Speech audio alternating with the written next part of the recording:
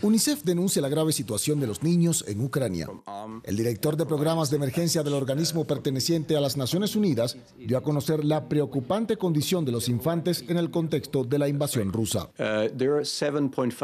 Hay 7.5 millones de niños en Ucrania. Esa es la población de niños en Ucrania. Y hay 2.8 desplazados internos y 2 millones de refugiados. Así que son 4,8 millones, por así decirlo, más o menos. Por supuesto, esas cifras evolucionan cada día, por desgracia. Las cifras de la UNICEF destacan como una de las mayores crisis registradas. Es bastante increíble. Yo sinceramente no recuerdo muchos lugares donde hayamos tenido un desplazamiento tan grande de niños en tan poco tiempo. Según el funcionario, los niños ucranianos están entre los principales perjudicados en medio de los combates.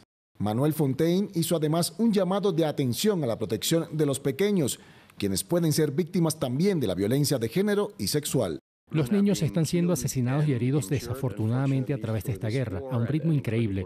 La Oficina de Derechos Humanos de la ONU ha verificado unos 142 niños asesinados y alrededor de 230 heridos. Estos son los números verificados, pero sabemos que ciertamente son mucho más altos desafortunadamente. En su más reciente intervención ante el Parlamento surcoreano, el presidente Zelensky denunció que unos 938 centros educativos han sido destruidos, así como 300 hospitales.